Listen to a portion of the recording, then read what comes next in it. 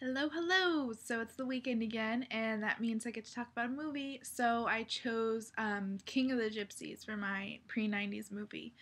Um, let it be known, I kind of have a thing for Eric Roberts. I know it's weird because A, not a lot of people really know who he is, B, he messed up. He did some bad things, but he's a damn good actor, though. Um, this is kind of widely regarded as one of his first films, if not his first, I think. It's a 1978 film um, directed by Frank Pierson. Um, this is kind of Eric Roberts' standout role, along which would be followed by Star 80, um, Pope of Greenwich Village. But it's also got a really interesting cast of other people. Um, you've got Susan Sarandon playing a gypsy mother. You have a really young Brooke Shields playing you know the teenage um, the teenage sister that they're going to sell off basically. Uh, annie potts gives a great performance in just a little side role just kind of gives some spice some color to an already colorful and eccentric movie. So the gist of this film is they're gypsies. But really so I actually had to come back and redo my review because all the voice tracking was out of sync. So if everything looks weird, that's why. Uh, all in all, I thought it was a completely different look at movies. Um, I hate to say that a 70s film is a period piece at this point, but let's face it, it kind of is. You just don't see movies like this anymore. It's a different way of life, uh, different people, different culture, certainly. And it's kind of fascinating to see a movie like this. Uh, there are certainly strains of Scorsese in there.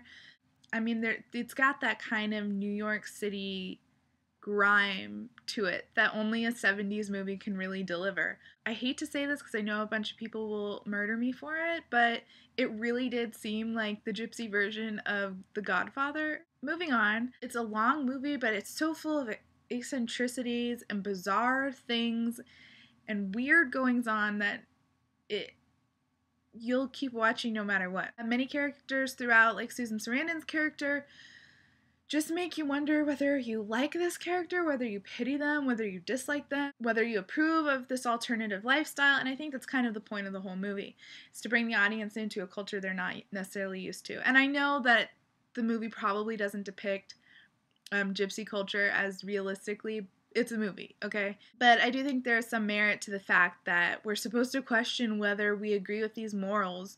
Just because it's an alternative lifestyle doesn't necessarily mean that they're off base. It's very um, easy to see why Eric Roberts would do this movie and then someone would cast him for Star 80 and then Pope of Greenwich Village, which I need to talk to you guys about next, probably coming up soon. Because if you haven't seen those movies, we need to talk. This is a very young Eric Roberts. Um, really pretty. It's also got one of those weird endings that only a 70s movie can deliver. Um, the plot twists and turns, the pacing is so off. It's it goes between being almost like a biopic of gypsy culture and then being, you know, like a gritty 70s almost gangster flick, but in the vein of gypsy gangsters, which I gotta say, it's kind of hilarious. No offense to those of you who are like gun wielding gangster gypsies, um, but it provided a lot of amusement.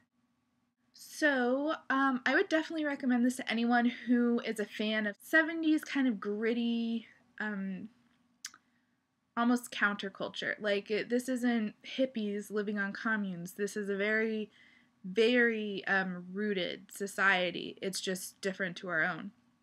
So I think it's great to take a look at this, see some early awesome Eric Roberts acting, some early awesome Susan Sarandon acting, some pretty Brooke Shields. King of the Gypsies is just something I never heard about, and I don't think most people have, and I think it's a really interesting movie, so go check it out.